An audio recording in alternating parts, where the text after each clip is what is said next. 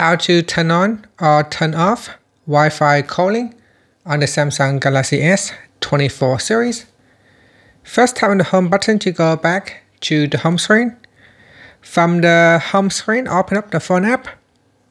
Then tap on the more button at the top. From the pop-up, tap on settings. Now in code settings, we go down and tap on Wi-Fi calling. Tap on the toggle button to turn off. Uh, switch on Wi-Fi calling. You can also tap on our left hand side panel in here. From here, you can also switch it on or off. Tapping on calling preference will allow you to select Wi-Fi preferred or mobile network preferred for your Wi-Fi calling. And that's it. After that, you can tap on the back key or tap on the home button to go back to the home screen. Thank you for watching this video. Please like and leave a comment if you have any issues uh, with your selection. Thank you for watching this video.